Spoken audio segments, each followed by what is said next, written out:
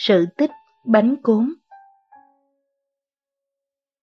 Ngày xưa, ngày xưa, không biết từ đời nào, tương truyền ở tỉnh Hà Đông, có một nhà phú ông nọ hay tu nhân tích đức đã nổi tiếng khắp vùng. Những người nghèo khổ thường đến xin ông bố thí đồng tiền bát gạo.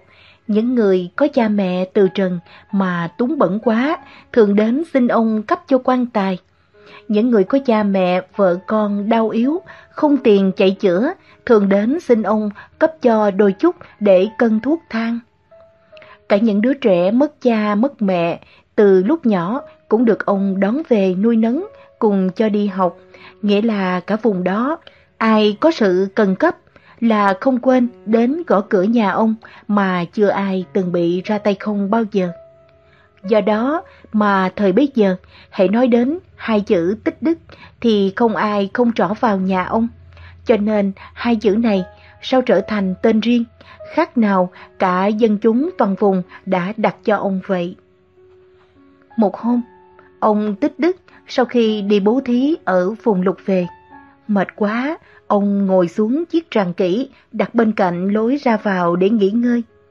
Bỗng chốc, có sáu vật lạ, người chẳng ra người mà chẳng phải ma, thấp thoáng đi lại chỗ ông ngồi và cất tiếng trục rè, có ý cầu khẩn ông. Thưa ông, chúng tôi muốn lại nhờ ông dung nạp. Ông liền hỏi một cách bâng quơ. Các bạn là ai? Có cần tôi việc gì? Xin cứ nói. Lập tức, trong hư vô có tiếng trả lời. Chúng tôi là lục tặc, nhãn, nhĩ, tỳ, thiệt, thân, ý của quốc vương hiện tại. Nhân vì giả thân tứ đại của Ngài sắp tan rã, nên chúng tôi phải tìm chỗ đầu thai để báo hiện thân Ngài. Bởi Ngài tuy có nghiệp căn tốt, nhưng hiện mắc sáu điều tham. Một, mắt Ngài tham sắc, không lúc nào chán, cho nên bây giờ linh tính đó phải thắt vào địa ngục noãn xanh do trứng nở ra, biến làm loài chim có lông đẹp, khoác luôn vào mình để được thỏa mãn sự ngắm nghía. Thứ hai, tai ngài thêm tai ngài tham nghe đàn ca du dương, lời nói uyển chuyển, nên bây giờ linh tính đó phải đọa vào địa ngục thai sinh, do bào thai sinh ra, biến làm giống lừa, ngựa, chó, mèo có nhạc đeo ở cổ để thỏa mãn sự nghe. Thứ ba, mỗi ngày tham gửi mùi thơm cá thịt chiên xào, cho nên bây giờ linh tính đó phải đọa vào địa ngục thấp sinh, sinh dưới nước, biến làm cua cá lương tôm ở nơi đầy bùn dơ, hôi hám để thỏa mãn sự ngửi. Thứ tư, lưỡi ngài tham ăn các vị ngũ tân, hành hẹ, tỏi nén, hương cừ, nên bây giờ linh tính đó phải đọa vào địa ngục hóa sinh, thay lột nhiều lần mà sinh, biến làm mũi rệp, dán, ve, rận, chí để được thỏa mãn sự hút máu tanh hôi. Thứ năm, thân ngài tham dâm dục nên bây giờ linh tính đó phải đọa vào kiếp gà, vịt, ngỗng, ngang để được thỏa mãn sự giao cấu thư hùng. Thứ sáu, tâm ngài châu báu, tiền của nên bây giờ linh tính đó phải đọa vào kiếp lạc đà, la, lừa. Cả ngày chỉ chuyên chở đồ vật vàng bạc trên lưng để thỏa mãn sự giàu có. Này chúng tôi, thấy nhà ông đây có đức, thường đối xử tốt với loài người lẫn loài vật. Và lại, nhà ông có đủ mọi loài ở cạn cũng như ở dưới nước, dễ bề đầu thai cho cả sáu đứa chúng tôi, nên chúng tôi đến đây cả, nhờ ông dung nạp cho. Chúng tôi xin báo trước đêm mai, con lừa nhà ông đẻ, mà đứa con nó là linh tính tham tài của nhà vua thác sinh vào, vậy xin ông lưu tâm. Bọn lục tặc nói đến đây, bỗng một cơn gió mạnh đập vào mành mành khiến ông tỉnh dậy, hóa ra giấc mơ. Suốt ngày hôm sau, ông tích đức thắc mắc, nửa tin nửa ngờ về chuyện báo mộng nên cứ trằn trọc tới nửa đêm vẫn chưa ngủ. Ngày lúc ấy, có tên gia nhân thấy ông còn thức, thì hối hả vào báo, lừa nái, vừa sanh lừa con. Lúc đó, ông mới yên tâm tin là mộng đã báo đúng sự thật. Tiếp luôn đến chiều hôm sau, có tin quốc vương Thăng Hà vào khoảng nửa đêm hôm trước, đúng là lúc con lừa nhà ông đẻ, làm cho ông càng tin rằng quả có lục tặc đầu thai. Từ đó trở đi, mỗi lần linh tính nào của nhà vua đầu thai làm vật gì trong nhà ông, ông đều được báo trước cho biết. Đến khi nhà vua đầu thai hết sáu lần, làm lừa, làm cá, làm chim, làm mũi, thì ông cũng vừa 80 tuổi. Cách ba năm sau, một hôm tại nhà cụ Tích Đức có thiết tiệc cơm chay long trọng cúng dường chư vị hòa thượng và chư tăng. Hôm đó, trên bàn thờ Phật đủ cả các lễ Phật hương hoa, lại có thêm một thứ bánh dẹp hình vuông gói trong lá chuối xanh, có buộc lạc đỏ mà xưa nay chưa từng thấy. Khi cúng Phật xong, chư hòa thượng và chư tăng vào thọ trai với tuần dân hoa quả bánh trái. Bỗng mọi người ngạc nhiên thấy thí chủ đem lên những dĩa bánh màu xanh như ngọc, chất mượt như tơ. Khi bỏ vào miệng, thấy có hương vị xông lên như hương lúa đồng mà chất bánh thì dẻo quánh, càng nhai càng ngọt càng bùi. Thật là một thứ bánh đặc biệt. Trong khi mọi người đang ca ngợi thưởng thức, thì hòa thượng cao tuổi nhất từ từ đứng lên hỏi thí chủ. Xin cho bần đạo và chư tăng biết thứ bánh quý này thí chủ đã mua ở đâu và gọi tên là gì? Thí chủ, cụ tích đức, trịnh trọng đứng lên với giọng nói phào phào. Cụ bạch rõ câu chuyện đã thuật ở trên, từ chỗ lục tặc đầu thai cho đến chỗ quốc vương thắt sinh hết sáu kiếp. Cụ nghĩ lấy hơi nói tiếp. Lần báo mộng cuối cùng, lục tặc có nói cho biết rằng thể theo lời quốc vương lúc sắp thăng hà, có tỏ ý hối hận. Về lúc sống, đã quá mắc phải sáu điều tham suối bẫy nên phải trụy lạc luân hồi. Nay quyết sám hối tội lỗi và mong được biến hóa là một vật gì vừa được giúp ích cho đời, vừa được gần Phật. Nên chỉ anh em chúng tôi đã hóa làm giống nếp hương, tiện mọc tại cánh ruộng lúa của cụ.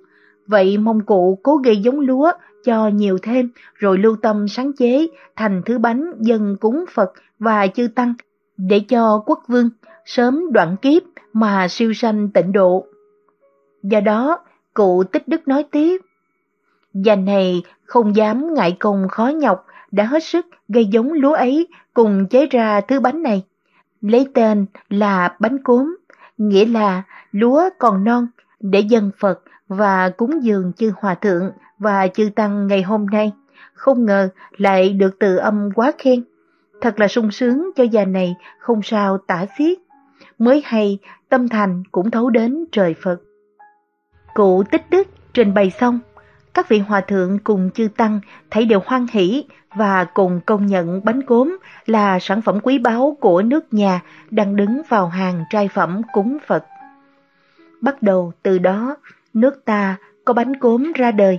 Sau, nhân sự phổ biến ngày một rộng lớn và nổi danh khắp nơi, nên đời mới đem bánh cốm dùng vào các lễ trọng của nhân dân như lễ ăn hỏi, lễ sêu Tết, lễ cưới và cả đến lễ táng cũng dùng bánh cốm thay cho bánh dày, bánh chưng.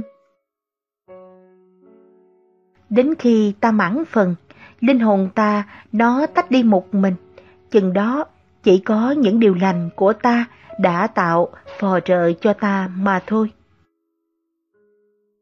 Chừng đó chỉ có những điều lành của ta đã tạo phò trợ cho ta mà thôi. Câu chuyện Lễ cúng dường cuối cùng của Thuần Đà. Ở nước Câu Di Na Kiệt, có vị trưởng giả tên là Thuần Đà cùng 5.000 vị trưởng giả nghe tin Phật sắp nhập Niết Bàn, liền đến đảnh lễ khóc lóc mà bạch Phật rằng Xin Ngài từ bi thương xót chúng con, xin Ngài ở lại lâu thế gian, đừng vội nhập Niết Bàn, xin Ngài thọ lãnh để cúng dường này để cho chúng con có được công đức và sớm giải thoát. Đức Thế Tôn bảo Thuần Đà Ta này vui lòng, thọ lãnh lễ cúng dường cuối cùng của ông. Các ông chớ có sanh lòng ưu não, chính nên phải sung sướng hoan hỷ, đừng có thỉnh cầu Như Lai ở lại lâu làm gì. Các ông thử quan sát mà xem, ở đời mọi vật đều vô thường, hết thảy chúng sanh cũng lại vô thường. Dầu ở lâu trên đời rồi cũng có ngày diệt tận. Tuy sanh trưởng thọ yểu, mạng sống cũng có lúc bị tổn hoại. Mạnh rồi sẽ bị bệnh bức khổ. Người sống rồi cũng phải chết, đâu có thể thường tại lâu ngày. Cho đến vợ con, vàng bạc, voi ngựa cũng chịu luật vô thường chi phối. Những kẻ thân thích nhất ở trên đời cũng phải chịu biệt ly. Duy có bốn món họa đớn chi phối con người là sanh lão bệnh tử. Thuần Đà nghe nói lại càng khóc lóc thảm thiết, khẩn cầu Như Lai ở lại. Đức Phật bảo, ông chớ nên khóc lóc, làm loạn động tâm niệm, hãy bình tĩnh suy xét, nên biết rằng tất cả pháp hữu vi đều không kiên cố chân thực. Thuần Đà lại bạch Phật, Đức Như Lai không thương xót chúng con nên không ở lại trên đời. Thế giới này mà không có Như Lai, thời vắng vẻ trống rỗng như hư không, làm sao chúng con lại không than khóc được? Đức Phật lại phải dạy rằng, Đức Thế Tôn thật vì có lòng thương tưởng chúng sanh và các ông nên mới nhập Niết Bàn. Hết thảy Phật Pháp đều vô thường, hết thảy Pháp hữu vi cũng đều vô thường. Nếu không có sinh lão bệnh tử, thì Đấng Như Lai cũng chẳng dám trần làm gì, và Phật Pháp cũng chẳng có cơ hội để rải tủa ánh sáng siêu việt khắp trong thế gian. Không nên mặc tình làm hại cây cỏ. Một ngày, vào năm 1993, một nông dân tên Thi khoảng 33 tuổi, đến ngôi chùa lớn ở làng quê xin gặp Hòa Thượng Diệu Pháp. Hai năm trước, nơi vách thực quản của ông Thi mọc một ung bú lành tính. Khi phẫu thuật, bác sĩ đã cắt bỏ một đoạn thực quản và cho mê lại nối với bên trên rồi. Nhưng chẳng bao lâu, chỗ cắt tuy đã lành, song bên trong thực đạo, nơi tiếp giáp với vòm miệng, chẳng biết vì sao lại mọc ra một mầm thịt tròn ngăn cản thức ăn, khiến ông nuốt gì cũng bị nghẹn khó khăn. Mặc dù không đau, nhưng bệnh nhân phải ăn từng chút, từng chút một mới được. Được một năm thì ông Thi phải nhập viện phẫu thuật. Nào ngờ, sáu tháng sau, mầm thịt lại mọc ra tiếp, không thể phẫu thuật nữa. Bởi chẳng rõ nguyên nhân vì sao bú thịt cứ mọc mãi. Ông Thi vì bệnh này mà hết sức thống khổ, mỗi lần dùng bữa giống như thò cực hình vậy. May, ông gặp ông bạn họ Chương, nhân vật chính trong câu chuyện Gà trống lông vàng, xin đọc báo ứng hiện đời tập 1, giới thiệu. Nên ông mới mạo muội tìm đến, cầu xin Hòa Thượng giúp cho. Hòa Thượng hỏi, Ông có chặt qua cây nhỏ nào không? Đại khái, thân to cỡ cái chày. Nông dân nhớ lại, đáp. Dạ, con chỉ đốn có một lần. Cây này á mọc tại bãi đất trống trước nhà con. Nó mọc uh, hơn một năm rồi. Sau đó con dùng cây rìu á chặt đi. Hiện giờ cây rìu vẫn còn. Nhưng không lẽ do con chặt cái cây nhỏ xíu vậy mà con bị ung bú thực quản sao? Việc này quá lạ. Ngoài sức tưởng nên bệnh nhân rất hoài nghi. Cho dù thắc mắc lắm, nhưng ông Thi không thể không tin, bởi chuyện chặt cây xảy ra đã rất lâu, từ mười mấy năm về trước. Nhưng vì sao hòa thượng xa lạ này lại có thể biết rõ vanh vách như thế? Hòa thượng khai thị Cây cối sinh trên đời là tạo phúc cho nhân loại. Chẳng hạn như các việc xây chùa, dựng nhà, bắt cầu. Nghĩa là có tạo dựng chi, đa phần đều nhờ đến nó.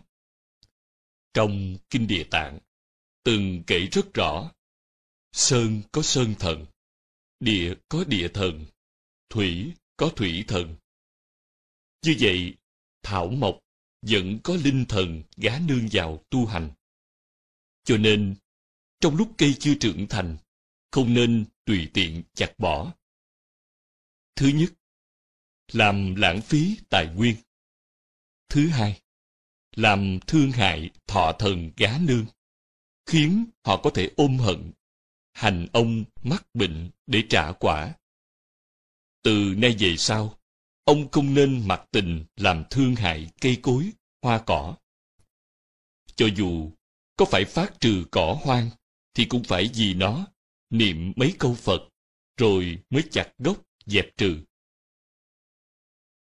Bởi vì ở nơi gốc cỏ cũng có nhiều sinh mệnh tồn tại. Ông phải biết là các vị tu hành thời xưa, mỗi khi muốn chặt cây cối trưởng thành, cũng phải lên tiếng thông báo xin thỉnh thọ thần về nhà. Hơn nữa, ông nên phát tâm ăn chay, phải vì cây nhỏ đã chặt kia mà tụng ba bộ kinh địa tạng, thì ung bướu nơi thực quản sẽ dần dần tiêu trừ. Ông có tin hay không vậy? Dạ có, nhưng mà thầy chỉ con chỗ nào để con thỉnh kinh địa tạng về con tụng? Tới phòng kinh sách phổ thông của chùa mà thỉnh. Dạ, con cảm ơn sư phụ. Sư phụ. Phí phạm của trời, tội rất lớn. Một ký giả tờ báo X nhiều lần nghe sư phụ giảng pháp, chỉ rõ nguyên nhân bệnh cho những người bệnh đến cầu khai thị. Một hôm, cô hỏi sư phụ. Con bị bao tử nhiều năm, đã chữa trị mà không có thấy kết quả. Có phải do đời trước con làm điều gì xấu không? Sư phụ hỏi. Phải chăng cô không ưa ăn da bánh bao? Nên mỗi lần ăn đều xé lột lớp da bánh bỏ đi. Ký giả kinh ngạc nói. Trời ơi, sư phụ, đúng là có việc này. Từ nhỏ, con đã không thích ăn da bánh bao, vậy mà cũng có tội sao? Sư phụ cười nói. Phải biết, phí phạm là tội rất lớn.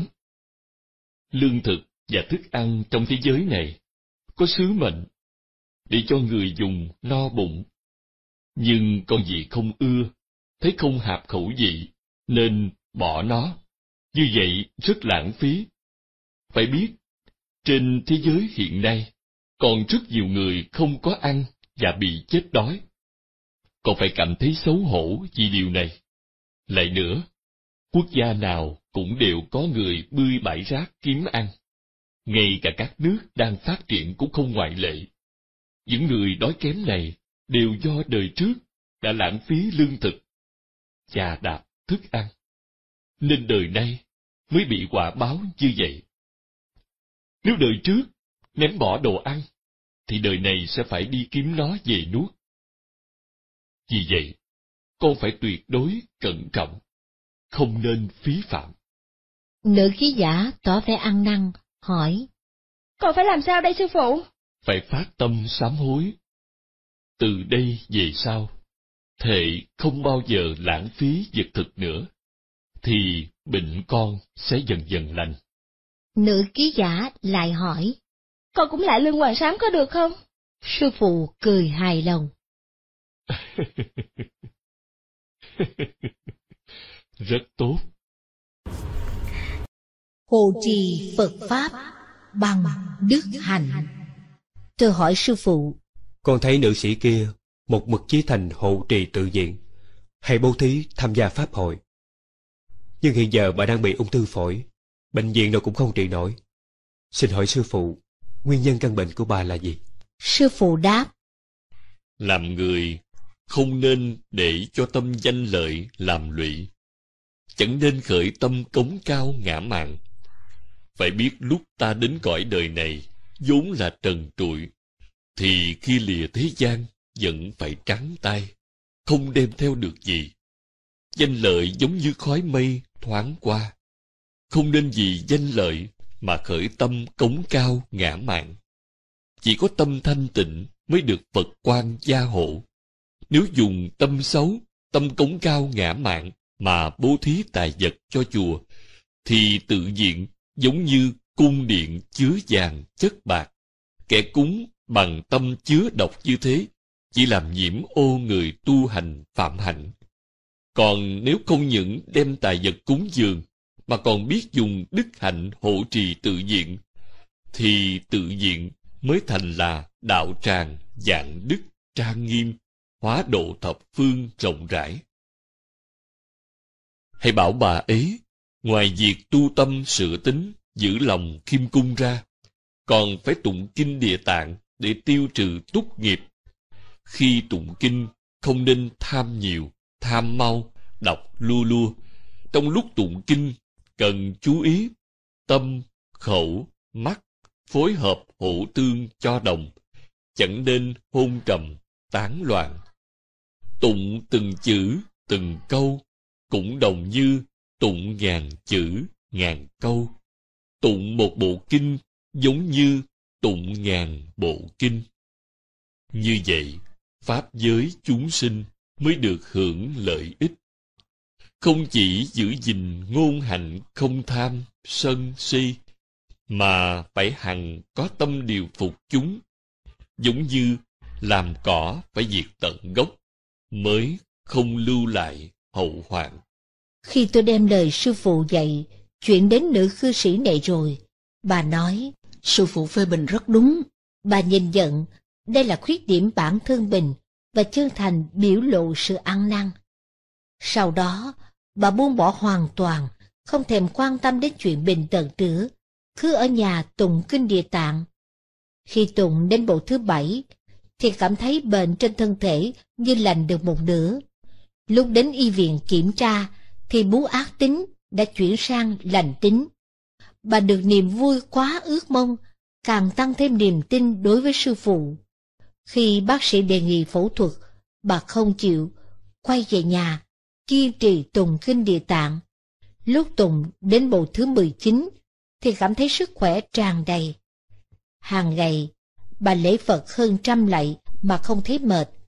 Sau đó, bà lại đến bệnh viện tái kiểm tra, thấy khối u trong phổi đã hoàn toàn biến mất, không còn lưu lại một dấu vết nào.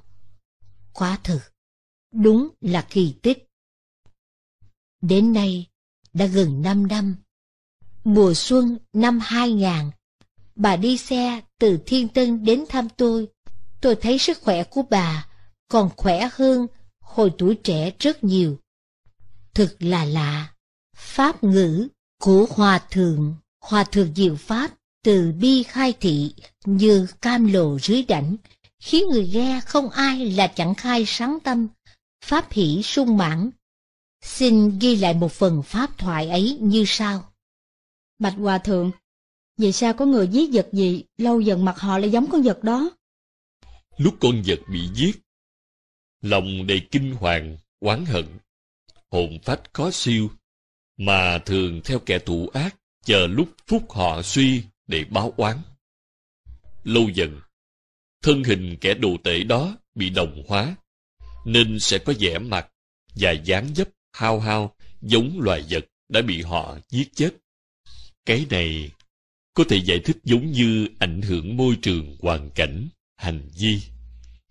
Dĩ như một kẻ cấp sách tới trường, thời gian sau sẽ có dáng dấp thư sinh, kẻ buôn bán sẽ có dáng dấp thương gia, kẻ làm ruộng có dáng nông phu, kẻ làm việc chân tay có dáng công nhân. Riêng kẻ đồ tể, thân xác luôn mang mùi tanh tưởi, chứa đầy thù hận của các con vật bị họ sát hại, nên thân toàn ác nghiệp, tâm chứa đầy xấu, độc, và họ giết loài nào nhiều nhất, thì họ sẽ mang hình dáng con vật đó. Đây cũng là điềm báo sau khi chết, họ sẽ thành loài đó. Đọc trong sử, chúng ta thấy mẹ ông Mạnh Tử phải dời nhà ba lần vì muốn con mình được sống trong môi trường thiện lành, có được ảnh hưởng tốt. Điều này dễ hiểu thôi. Gần trường học sẽ làm quen với tính hiếu học. Chơi với kẻ đánh bạc sẽ trở thành người ham mê đỏ đen. Giao du với người hiền thì trở thành lương thiện. Nếu thường thân cận Phật Thánh sẽ có tâm như Thánh, nhan diện sẽ hiền lương như mặt Phật. Vì gần mực thì đen, gần đèn thì sáng.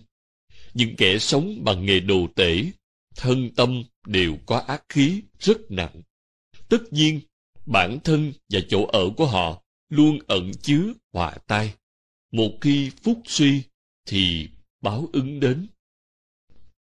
Vậy nếu như ăn thịt gà thì sao thầy? Loài gà tuy được nuôi bằng sự tiến bộ của văn minh loài người, song về vệ sinh, ăn uống, chốn ở đều nằm trong phạm vi một cái chuồng chật hẹp, nên chúng mắc bệnh cúm rất nhiều. Vì vậy mà thân thể bị nhiễm đầy chất độc của bệnh cúm. Chúng mang hình thể thú vật, có đau ốm cũng ít ai biết, lại chẳng được uống thuốc men, luôn ẩn chứa mầm bệnh trong mình. Người đời mê ăn thịt, không biết họa hại ẩn ở trong. Cứ nấu ăn thịt đó, tưởng là ngon, bổ. Không ngờ rằng, ăn sẽ mang bệnh vào thân. Tục ngữ có nói, bệnh tùng khẩu nhập, tức là bệnh vào từ miệng. Còn trong kinh sách thường nhắc, ăn tám lượng, phải trả nửa cân. Ăn thịt nhiều rất có hại, đó là sự thật. Có khi không chỉ trả nửa cân, mà còn phải trả cả mạng sống. Nhiều người ăn đủ thứ thịt, bị mỡ thừa tích tụ, thân đầy độc chất, máu bị nhiễm trượt, cơ thể bị trúng phong, sinh cao huyết áp. Ung thư, cuối cùng hết thuốc chữa. Nếu nói thực tế, chưa bàn đến nghiệp báo, thì nội chuyện ăn mặn đã rất có hại rồi. Vì rước mầm bệnh, tâm oán hận vào mình, lâu ngày thành ung bướu, không chết gấp thì cũng chết từ từ, bệnh hành đau đớn. Con vật trượt khí nhiều, từ tư tưởng đến phẩm hạnh đều thấp hèn. Vì gieo nghiệp xấu tệ mà đọa làm thú, tâm thân đều là nguyên tố xuất sinh. Con người ăn thịt chúng vào, nạp mãi nguyên tố thấp, thì thân thể thuần là tố chất của loài vật. Người ăn thịt, thiếu lòng từ, thân đầy trượt khí, rất không tốt. Người biết tu, phải nuôi dưỡng lòng nhân, bảo vệ phẩm chất thanh tịnh. Khi ăn thịt những loài gia súc, vô tình, tính linh của người sẽ bị tính linh của vật làm ô nhiễm, ảnh hưởng tới công phu tu. Hơn nữa, ăn chay giúp tiết dục, tĩnh tâm, giúp ích cho sự tu tập rất nhiều. Vì cơ thể máu thịt của súc sinh ô trượt, tính linh dơ bẩn, ăn vào dục nhiều, tinh thần tối tâm. Cho nên từ cổ chí kim, những bậc tu sĩ đều ăn chay là vậy. Nói thực tế, ăn thịt nhiều rất có hại, chẳng ích lợi gì, nhất là người lớn tuổi, sức đề kháng suy yếu, ăn nhiều thịt, không tiêu hóa hết, phần dư thừa lại nằm trong cơ thể, khiến sinh ra đủ chứng bệnh.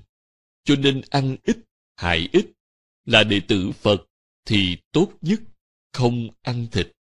Vừa trưởng dưỡng từ tâm, không tạo ác, vừa giữ thân thanh sạch.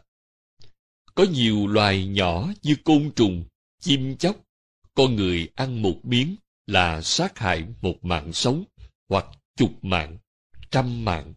Con vật cũng có quyền được sống, giết chóc chúng bừa bãi, không những làm thương tổn tình người, mà còn phá hoại môi trường sinh thái thiên nhiên, hủy diệt lòng từ ái. Đức Phật thương yêu tất cả chúng sinh. Chúng ta là đệ tử Phật, cũng nên học theo hạnh Ngài. Hãy đối xử từ ái với loài vật. Dạ, có cư sĩ muốn kiến thiết đạo tràng, hành nhiều bố thí. Xin thỉnh giáo ngài làm sao để tụ được nhiều tiền tài ạ? Tài sản, tiền bạc giống như củi tụ nhiều vô ích. Chỉ một mồi lửa là thiêu cháy thân dễ dàng. Củi có thể giúp tỏa nhiệt. Nhặt đâu cũng có, dễ tìm đầy rẫy. Không nên tham muốn có nhiều, vì tàn ẩn họa ở trong. Có cái thầy nọ, bói cô ấy á, mấy năm nữa đi vào quan giận mà không có tài giận. Vì vậy á, không cho giữ chức tổng giám đốc công ty. Nói vậy thì vô lý quá. Xin thầy khai thị à. Dù nói số mệnh, nhưng người tu hành có thể cải đổi số mệnh. Đã gọi là số mệnh thì có ba phần là mệnh, bảy phần là giận. Đây chính là thời giận. Cho nên nói, thời tới thì phát huy, Vì vậy chuyện nắm bắt thời cơ rất quan trọng, là then chốt. Nhưng làm sao để nắm bắt? Việc này phải xem ngộ tính của một cá nhân, đồng thời phải nhìn sự tu trì bình thường của y. Ngộ đạo rồi, liền có thể nắm bắt thời cơ, cũng có thể cải đổi vận mệnh mình. Dạ thưa thầy, có một cư sĩ ở Thiên Tân, mấy năm trước được bạn tặng cho một con chó Giang Tô tên là A Lý. Từ lúc cư sĩ này ăn chay, con chó cũng không có ăn thịt. Mỗi khi chủ nó tụng kinh sớm tối, thì nó đều nằm phục một bên, giống như là nghe kinh vậy đó. Nhưng mà khi ra đường đó thầy, hãy nó gặp con chó cái đến ve vãn á, là nó luôn quay đầu bỏ đi.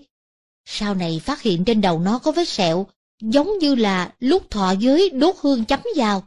Vậy việc này là thế nào?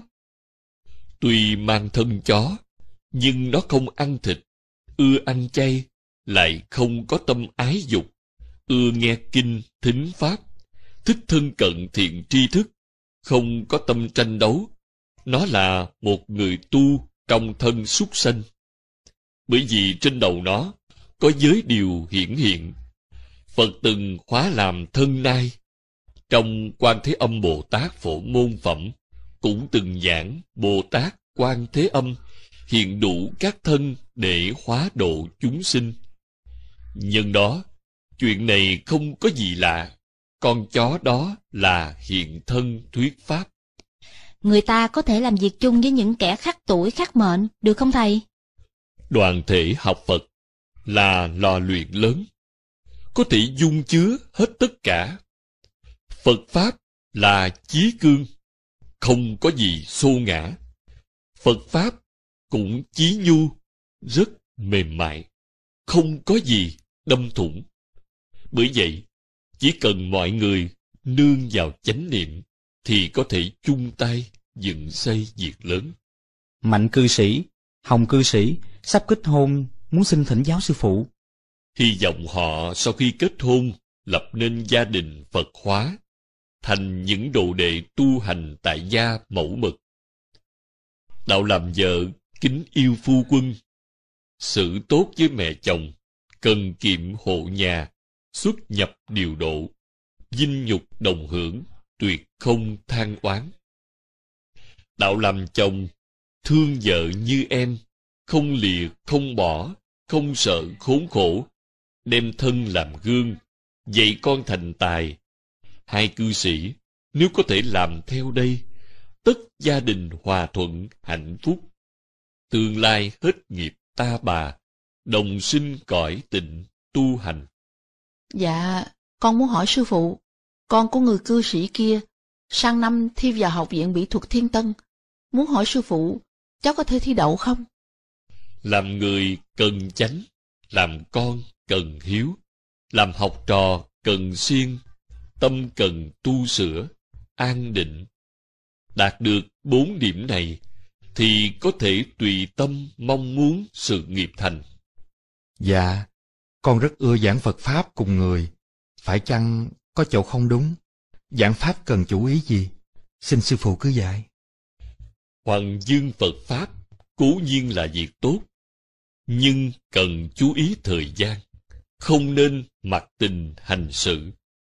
Buổi sáng, từ 8 giờ đến 11 giờ, buổi chiều từ 2 giờ đến 5 giờ. Đây là thời gian giảng Pháp tốt nhất. Một lần giảng không quá ba tiếng. Người giảng tinh thần sức lực sung mãn, người nghe chú ý tập trung, dễ thâm nhập, thể hội lãnh ngộ Phật lý. Vượt quá mức thì tinh thần mỏi mệt, nói nhiều, vô ích. Người làm thầy nhất định phải tuân giữ quy củ. Trước phải điều phục mình, sau mới điều người. Sống không hành đúng pháp chính là phá hoại đạo làm thầy. Thế thì sao có thể là mô phạm cho hàng hậu học? Cẩn thận, ghi nhớ. Tu làm sao mới được lợi ích hả thầy? Tu hành là chịu khổ. Khổ vì phải nhẫn điều khó nhẫn. Lại giống như người nuốt độc dược mà muốn nôn ra vậy. Nhưng bạn vĩnh viễn không thể mong một người khác nôn dùng độc dược của mình. Nghĩa là, tật tánh của mình phải do mình sửa, tu hành không nên gấp, không nên nôn nóng, cầu mau thành. Chư Phật Bồ Tát đều tùy thời, tùy duyên từ bi gia trì cho bạn. Nhưng các bạn, trước tiên phải đem tam độc, tức là tham, sân, si, lỡ nuốt vào từ vô thị kiếp đến đây, nôn hết ra, mới có thể nếm được mỹ vị cam lộ. Đây gọi là ói cái cũ, nạp cái mới. Cho nên học Phật, trước phải phá ngã chấp, không nên thấy toàn thị phi, mắt chỉ lo nhìn lỗi người. Phải biết, các oán ghét đối nghịch trong đạo đều do nghiệp chướng bản thân từ nhiều kiếp đến đây chiêu cảm nên. Phải chí thành sám hối mới có thể bình lặng tất cả. Còn những phản ứng kình chống ngang ngược. kinh chấp nhiều đời Khi Hòa Thượng Diệu Pháp dẫn tôi đến một đại đạo tràng đọ, thì sư bà trụ trì ni tự này kể cho Hòa Thượng nghe, nơi đây có hai sa di ni khoảng hơn 20 tuổi, tướng mạo trang nghiêm. Trước khi xuất gia, họ đều đã tốt nghiệp đại học, có bằng thạc sĩ. Sau khi họ phát tâm xuất gia rồi, thì tụng niệm bái sám, kinh điển thuộc mau. Các oai ghi, mỗi mỗi đều ổn. Lẽ ra, hai cô này có thể nổi bật xuất sắc trong chúng. Nhưng ngặt nổi, họ mắc phải chứng bệnh, đồng tính luyến ái mà trụ trì khuyên mãi không được. Xin gọi họ là Ni X và Ni Y. Mới đầu hai cô này chẳng ai lìa ai, ngủ thì nằm sát đơn nhau, đứng đâu cũng đứng cùng, lên điện tụng kinh sớm tối thì một trước một sau, vào thiền đường thì cũng ngồi kề bên nhau, thậm chí ngay cả đi rửa tay hai người cũng chẳng phân ly. Mới đầu, đại chúng chẳng để ý, nhưng lâu dần, trong chúng bắt đầu lưu tâm, phê bình. Bởi vì khi trụ trì, phái một trong hai người đi làm việc, thì người kia nhất định phải đi theo, nếu không cho, thì làm ầm lên. Lần đó, thấy vấn đề tuy không nghiêm trọng, nhưng lại ảnh hưởng đến sự thanh tịnh trong đạo tràng đi chúng. Mặc dù cả chúng ngoài miệng không nói gì, nhưng thường để mắt đến họ, cũng không phát hiện họ có hành động gì phạm thanh quy. Sư trụ trì đã nhiều lần khuyên nhủ hai cô. Sau khi góp ý phê bình xong, thì Ni X bắt đầu lánh xa Ni Y. Nào dè lại phát sinh việc không hay. Ni Y không chịu nổi cảnh Ni X lánh xa mình, nên giữa hai người xảy ra tranh cãi. Mặc dù họ không dám lớn tiếng làm ồn, nhưng cả hai thường gây nhau đến đỏ mặt, tía tai. Có tranh cãi cho lắm, thì y vẫn không chịu để cho ý xa mình nửa bước, cứ theo kè kè, giống như mẹ che chở con đi trên đường vậy. Theo như hai cô kể, tình cảm bọn họ có từ thời trung học, bắt đầu quen là thân ngay. Có thể nói rằng, vừa gặp mặt đã thấy thương liền. Từ lúc quen biết đến giờ, họ chưa hề xa nhau. Vào đại học, cũng chung trường. Ở ký túc xá sinh viên, dù người giường trên kẻ giường dưới, nhưng hai người vẫn thường ngủ chung. Chỉ cần X ở ngoài tầm nhìn của Y là trong lòng Y rất bất an. Ni Y thưa với trụ trì rằng Con cũng cảm thấy như vậy là không bình thường, nhưng vô phương khống chế nội tâm của mình. Do vậy mà sư trụ trì hy vọng Hòa Thượng Diệu Pháp có thể giúp giải quyết vấn đề khó khăn này. Hòa Thượng trầm ngâm một lúc, rồi kể Cách đây ba đời, bọn họ từng là mẹ con, mẫu từ tử hiếu. Kiếp thứ hai, thì họ tái sinh làm phu thê. Quan hệ càng kháng kích, như keo sơn quấn quýt không rời suốt cả một đời. Do tâm dâm ái sâu nặng, nên kiếp vừa rồi họ sinh làm đôi chim yến, sớm tối chẳng lìa nhau. Đôi chim yến này làm tổ nơi cây đại thọ trước chùa. Nhờ vậy mà ngày ngày được nghe kinh thính pháp. Nên đời nay có thể cùng chuyển sinh làm người, cùng ban thân nữ, có trí thông minh, nhớ dai, lại được đồng xuất gia tu đạo. Nếu tu hành tốt, đời này họ có thể liễu sinh thoát tử. Nếu như tâm cứ mãi đắm chìm trong tình ái sâu đậm từ nhiều đời đến nay, chẳng thể buông bỏ, thì kiếp sau, nhất định họ sẽ đọa địa ngục. Có muốn tiếp xúc với Phật Pháp, cũng khó được. Kể xong, Hòa Thượng đáp ứng lời sư trụ trì thỉnh cầu, đặc biệt khai thị cho hai cô ni kia. Khi hai cô hiểu rõ nhân duyên của họ rồi, lập tức phát nguyện buông bỏ hết. Họ cùng lên đại điện xin sám hối, phát thệ sẽ tu hành tốt. Con đường làm giàu Người ta ai cũng ưa phát tài. Có người biết nắm lấy cơ hội nên tâm muốn sự thành. Có người tùy khả năng mà vươn lên theo thời, nỗ lực phấn đấu, dốc hết cả đời, cuối cùng cũng thành tựu. Có người dù tích lũy lắm tiền của, tuy được tài phú nhưng không bền lâu, vì sai lầm một chút mà ôm hận thiên thu. Hơn 10 năm nay, tôi theo hầu hòa thượng diệu pháp, chứng kiến nhiều người đến thỉnh giáo ngài vấn đề này. Vì vậy, tôi tuyển chọn hai câu chuyện có thực, tiêu biểu, chia sẻ cho độc giả nghe. Như đã thuật, trong quyển Báo ứng hiện đời tập 1, nơi mục Pháp ngữ của Hòa Thượng, có cư sĩ hỏi, làm sao để tụ nhiều tiền tài, nhằm giúp kiến thiết đạo tràng? Hòa Thượng đã dạy, tiền tài như củi, tụ nhiều vô ích, chỉ cần cho một mồi lửa là chiêu hòa đốt thân. Củi dễ tìm, cần thì lượng nhặt, nhưng không nên tham, vì tiềm ẩn họa ở trong. Thực ra, câu chuyện này còn nửa phần sau chưa kể hết. Vì sao cư sĩ này thỉnh giáo, muốn tụ nhiều tiền tài để xây cất chùa? Bởi ông là một người giàu có, sự nghiệp cực kỳ thành công. Mời quý vị xem câu chuyện dưới đây. Nửa cái bánh Gia đình ông Trình có ba người. Sau khi quy y Phật rồi, thì giữ giới rất nghiêm. Nhà ông giàu có ngàn vạn, lại một bề trì giới chu toàn, khiến cho mọi người rất kính phục. Xem ra, phú quý học đạo cũng không khó. Mấu chốt nằm ở chỗ, bạn có huệ căn và cùng Phật có duyên hay chăng thôi. Con trai của ông là Trịnh Vĩ, vừa mới lên cao trung. Ngày nọ, tan học, chàng ra về cùng các bạn. Trong nhóm có bạn X đang đói bụng, nên đã mua một cái bánh nướng.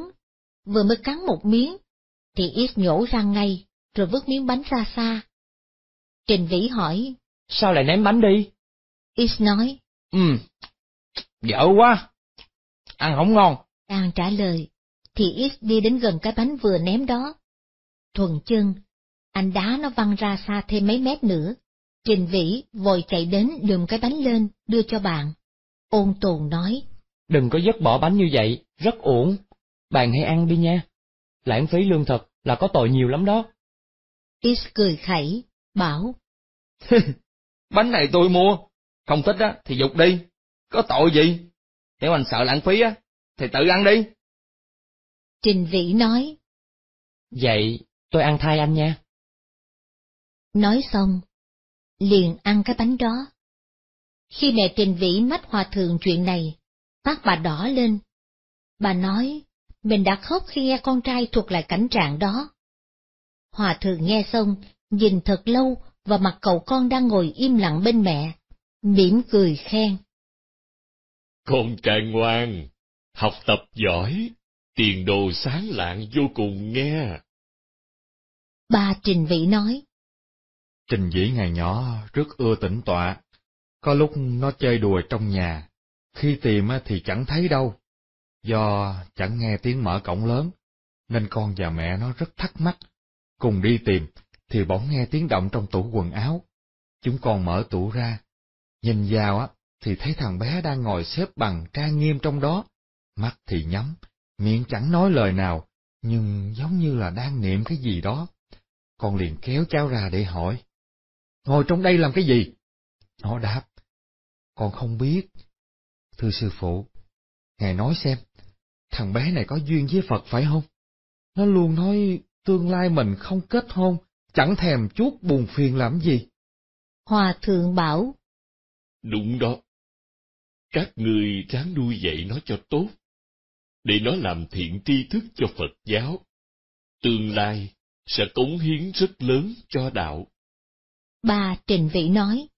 Con có một việc nghĩ hoài mà không hiểu, ôm thắc mắc mãi suốt bao nhiêu năm nay, xin thỉnh giáo sư phụ, con vốn chỉ có tấm bằng cao trung, sau đó gặp cơ hội, chỉ tính làm ăn nhỏ thôi.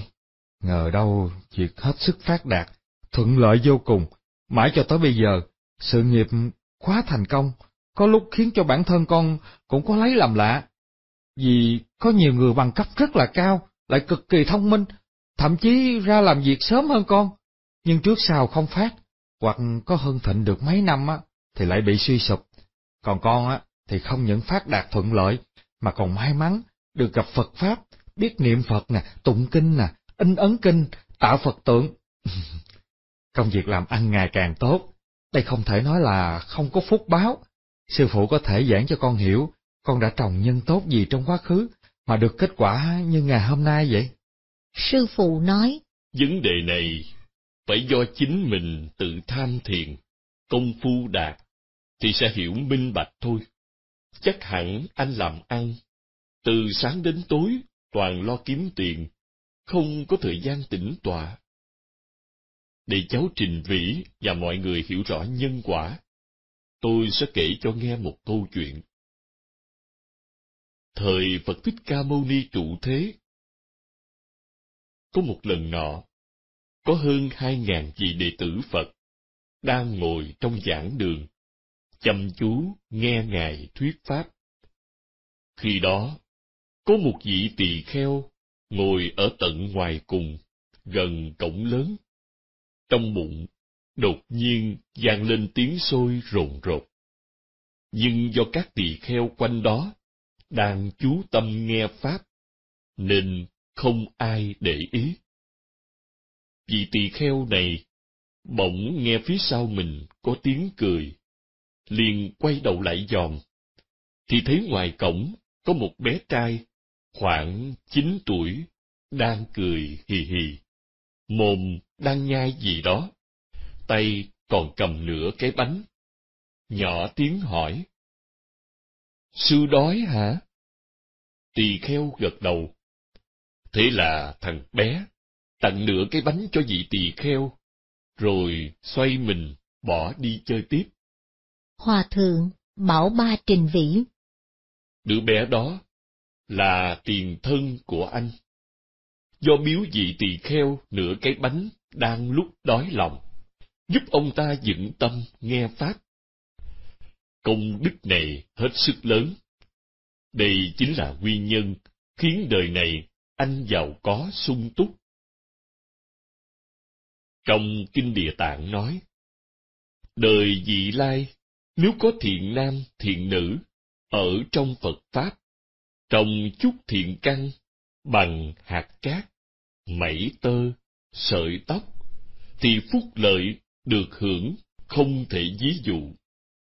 Trong đời vị lai, nếu có thiện nam thiện nữ gặp kinh điển đại thừa, hoặc nghe một câu, một bài kệ, phát tâm ân trọng, tán thán cung kính, bố thí, cúng dường, thì người đó được phúc báo lớn vô lượng vô biên. Nếu có thể hồi hướng cho Pháp giới, thì phúc này không thể ví dụ. Đứa bé kia, do hiếu kỳ mà đến cổng giảng đường, nghe mấy câu Phật Pháp. Có thể bé chẳng hiểu rõ nghĩa lý, nhưng trong nhiều đời sau, từ đó đến nay, nhân duyên chín mùi, bé không những thành đệ tử Phật, mà còn rất giàu có. Chính là anh đấy. Phải biết, vì tỳ kheo được bé tặng nửa cái bánh lót dạ lúc đói lòng. Nhờ vậy mà vững tâm nghe Pháp Phật, được khai ngộ và chứng quả. Nhân đây mà có duyên với anh. Biết đâu chừng đời này cũng đến tụ hội hoặc cùng anh gặp gỡ, chung sức hoàng dương Phật Pháp. Chỉ cần anh không ngừng tu tinh tấn, chịu khó tham thiền, tĩnh tọa, sẽ có ngày anh hiểu rõ hết.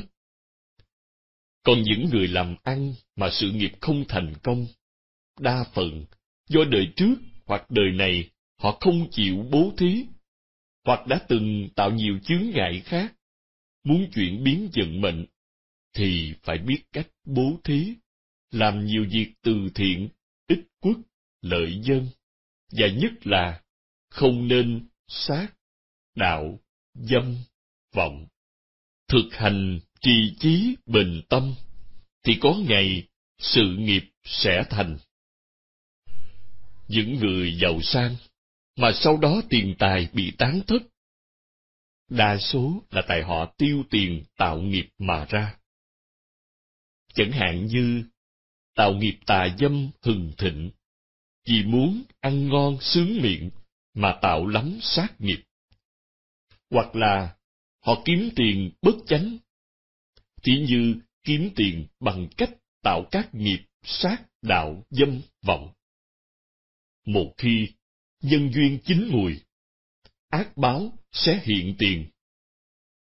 Cho nên, những ai làm ăn sinh sống theo nghiệp tà, thì nên sớm chuyển nghề, phải gìn giữ thân, khẩu, ý, sửa đổi hành vi xấu, sám hối tội lỗi, bỏ ác, hành thiện, thì sẽ thay đổi được ác báo dị lai.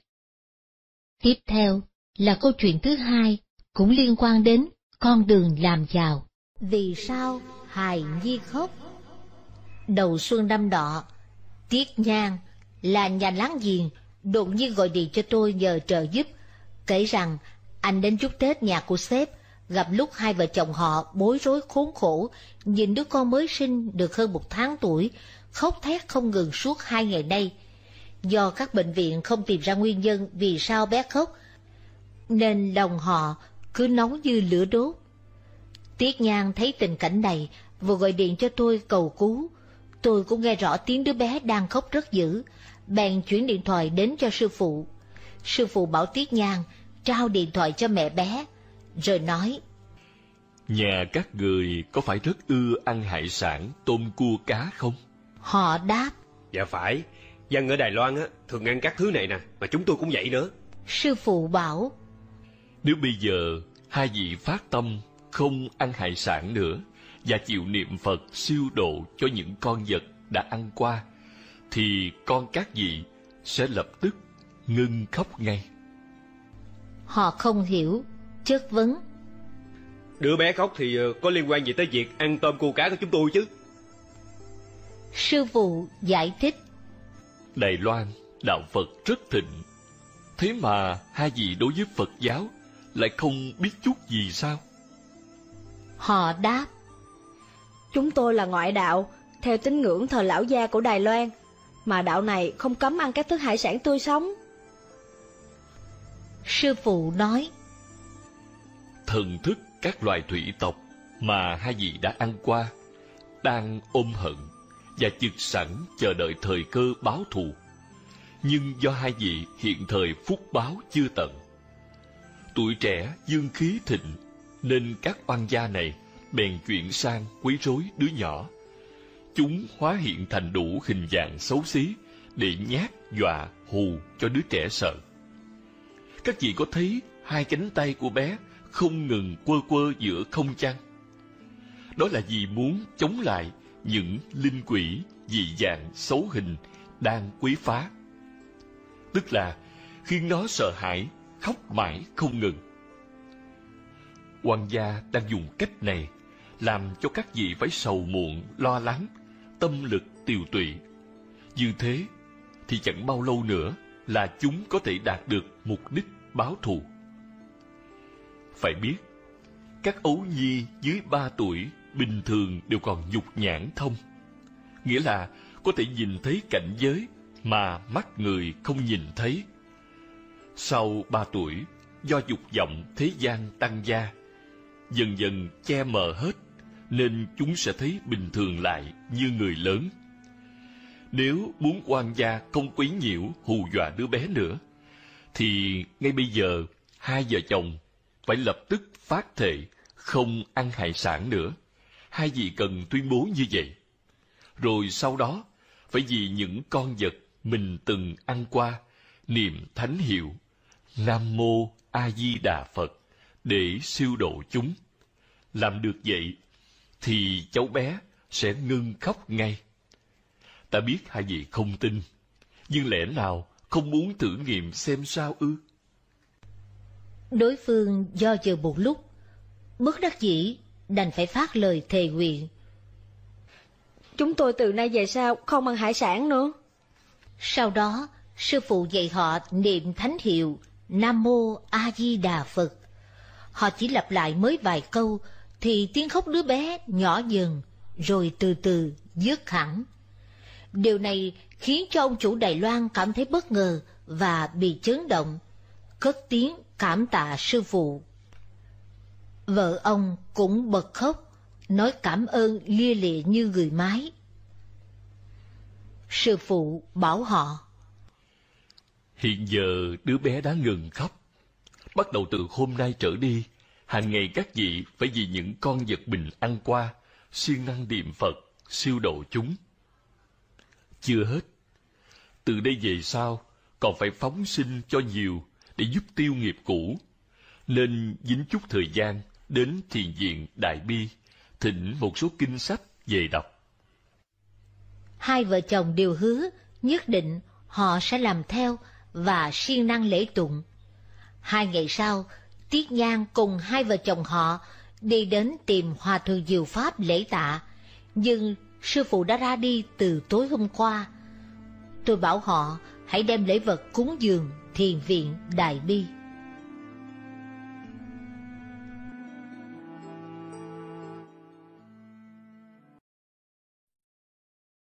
Bà Hàng trứng rán một buổi chiều năm 1993, có người nhấn chuông cổng. Tôi ra mở cửa, thì gặp một phụ nữ độ ngoài 50.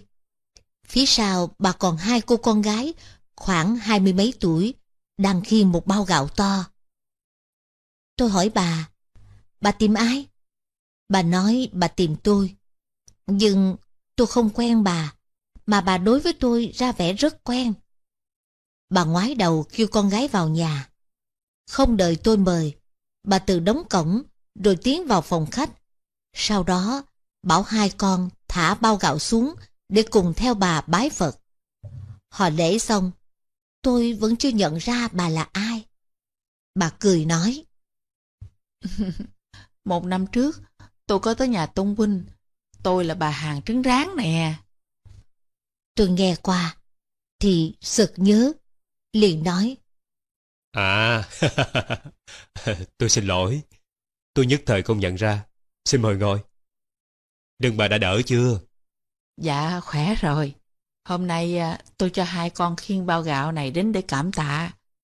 Tôi biết Tôn Huynh xưa nay không có nhận quà, nhưng mà hôm nay Tôn Huynh nhất định phải nhận bao gạo này vì nhờ Tôn Huynh và vị sư phụ kia mà tôi mới sống còn đến ngày hôm nay. Nghe bà nói, dòng tư tưởng tôi trôi về quá khứ. Năm ngoái, một cư sĩ quen đã dẫn bà tới nhà tôi chồng bà bị chứng thoát đĩa đệm cột sống. Phải nằm trên giường 6 năm. Tuy bà ân cần chăm sóc, nhưng cuối cùng ông vẫn không thể đứng dậy và đã qua đời nửa năm trước. Ngờ đâu bà cũng mắc chứng bệnh giống vậy. Nghĩ đến chồng mình bị bệnh hành, tiêu tốn rất nhiều tiền mà không giữ được mạng. Bà nghĩ thầm, chi bằng mình chết sớm còn tốt hơn khỏi làm lụy tới hai con. Vì vậy mà bà không thèm đi khám bệnh. Cũng chẳng uống thuốc chi. Con gái biết được ý mẹ, vạn phần lo lắng, bèn đến chùa Quan Âm cầu Phật gia hộ. May gặp một cư sĩ tốt bụng. Trước đây, ông là láng giềng của họ. Sau khi biết chuyện rồi, ông rất cảm thông. Sẵn dịp, nghe tin Hòa Thượng Diệu Pháp vừa đến nhà tôi. Ông bèn dắt bà tới, cầu sư phụ chỉ cho con đường sống. Hòa Thượng lắng nghe bà kể rõ bệnh tình rồi, liền hỏi. Nghề bà mưu sinh có liên hệ đến trứng gà không? Bà có vẻ kinh ngạc, nói. Con sống bằng nghề à? Bán bánh trứng rán. Một ngày tối đa tráng à, mười mấy cân trứng. Có phải vụ này liên hệ tới bệnh của con không? Bà làm như vậy, không phải để kiếm tiền sao? Dạ, con nương và sức lao động chân chính để kiếm tiền. Mong ngài chỉ dùm nguyên nhân bị bệnh. Bà đừng trách tôi nói thẳng nhé. Một cân khoảng 11-12 trứng gà. Bà tính mỗi cân chỉ có 7-8 trứng. Còn bán trứng gà nhỏ cao bằng giá trứng gà lớn. Và kiếm lời trong chỗ cân thiếu này. Có phải như vậy không? Bà đáp. Dạ, ai cũng làm vậy. Để kiếm chút tiền mà. Trên thực tế, đâu phải là khách không có biết. Nhưng mà lúc mua, chẳng có ai để tâm so đo. Nói theo Phật Pháp, thì bà làm như vậy là tham, là lừa dối. Bà bán hàng, cân thiếu vì mong có thêm chút tiền. Nhưng giọt nước lâu ngày xuyên thủng đá, tích ác nhỏ sẽ thành họa lớn. Đây là nguyên nhân căn bệnh của bà. Vậy chồng tôi không có liên can việc này. Vì sao cũng bệnh giống vậy? Sư phụ nhẫn nại giải thích. Bị giống một chứng bệnh không có nghĩa là đồng một nguyên nhân. Ví như bệnh cảm sốt. Đa số các chứng viêm thường bắt đầu từ bệnh sốt cả. Có thể bà sẽ hỏi, phải chăng ai bán bánh trứng rán cũng mắc bệnh này? Đây không nhất định. Mỗi người từ nhiều đời nhiều kiếp đến nay, nhân quả chồng chéo phức tạp, chẳng ai giống nhau. Đọc báo, chúng ta thấy mô tả tai nạn xe, cũng đồng một tai nạn, nhưng kẻ thì chết thảm. Có người bị văng ra xa mấy mét, nhưng lại bình an vô sự. Tưởng chết, lại được sống. Nghĩa là, có rất nhiều chuyện lạ lùng, ngoài sức tưởng. Nhưng thực ra, đây đều liên quan đến đức hạnh của mỗi người. Những người sống thiện, dù gặp nạn dữ, rất dễ hóa lành, hay biến nguy thành an. Chuyện làm ăn buôn bán kiếm tiền là thường tình, là thiên kinh địa nghĩa. Cổ nhân nói, quân tử yêu tài, thủ chi hữu đạo. Nghĩa là, dù ưa tiền, song kiếm tiền cũng phải có đạo đức. Bà đã cân thiếu hai lượng, dùng hành vi giả dối này làm phương pháp phát tài là không có đạo đức. Hơn nữa, việc này đồng nghĩa với dưỡng hổ, di họa. Hiện giờ số tiền lớn nhờ cân thiếu mà kiếm được. Trong tương lai, bà sẽ phải đổ vào chi phí thuốc men hết mà không đủ nữa. Tôi giải thích như vậy, bà có tiếp thu được không? Dạ, thưa sư phụ, con rõ rồi. Sau này sẽ không tham tài lừa khách hàng nữa. Hòa thượng bảo bà thỉnh tôn thượng Phật về thờ, mỗi ngày lễ bái sám hối. Bởi bà không biết chữ, nên hòa thượng dạy bà, khi lạy Phật cứ niệm Nam Mô Quán Thế Âm Bồ Tát và phải phóng sinh thì bệnh bà có thể lành.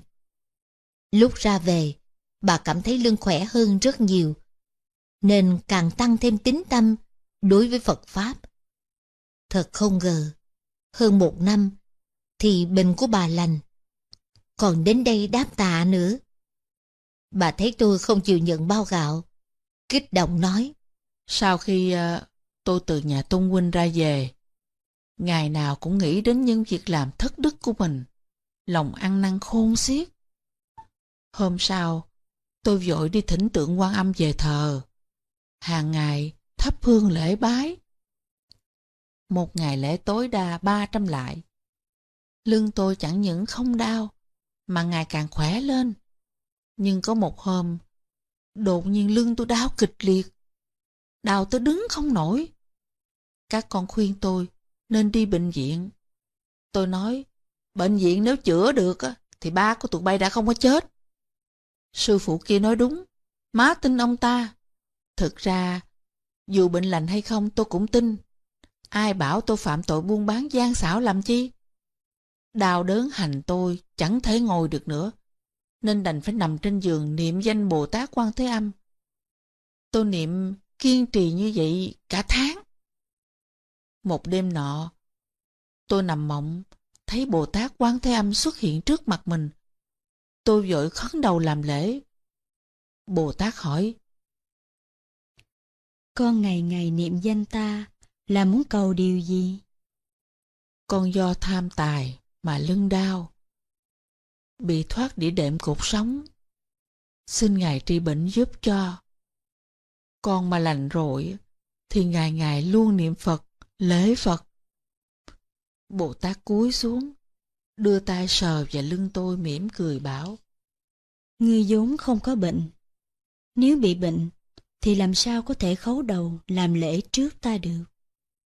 Nói xong Bồ Tát biến mất. Tôi mừng rỡ, niệm to danh Ngài, rồi ngồi bật dậy trên giường. Hai con gái tôi bị tiếng của tôi đánh thức, vội chạy tới bên giường an ủi. Đột nhiên, chúng kinh ngạc, vui mừng reo lên. Trời ơi, con mừng quá, má ngồi dậy được rồi nè, má. Lúc này tôi mới phát hiện, mình đã tự ngồi dậy được. Hồi tưởng lại tình cảnh trong mộng, thì đột nhiên lưng tôi có cảm giác nóng ấm, hết sức dễ chịu thư thái. Lúc này mới biết là bệnh mình lành rồi. Lòng quá cảm động, lệ tuôn không cầm được. Tôi kể lại cho hai con nghe chuyện giấc mộng. Chúng chưa có tin lắm. Tôi bảo hai con đỡ mình dậy. Chúng dìu tôi đi thử mấy bước. Lưng tôi không có đau chút nào hết á. Chỉ có hai giò là còn hơi yếu. Tôi hiểu, đây là tại mình nằm mãi ở trên giường hơn cả tháng. Vậy là ba mẹ con chúng tôi mừng rỡ đến không ngủ được. Bệnh lành hẳn hoàn toàn. Lòng tôi tràn đầy niềm tri ân quan thế âm. Đồng thời, cũng nhớ đến ông xã, giờ đã thành nắm tro xương. Nếu như ông gặp Phật Pháp, chẳng phải là đã được cứu rồi hay sao? Vậy là tôi đã quyết định về quê, ra thăm mộ ông, khoe là tôi đã từ cõi chết mà sống được. Thăm mộ xong, bà con thân thích mời tôi ghé chơi mấy ngày. Tôi bằng lòng. Trong thời gian ở quê, á, thấy người ta gặt còn sót bông lúa rất nhiều. Tôi hỏi người trong thôn, lúa còn sót dữ quá, sao à, không ai mót hết vậy? Họ mới trả lời là, Bây giờ ở nhà ai cũng sung túc khá giả, nên chẳng thèm phơi đầu dưới nắng, mót lúa làm gì nữa. Tôi bèn hỏi, vậy chứ tôi mót có được không?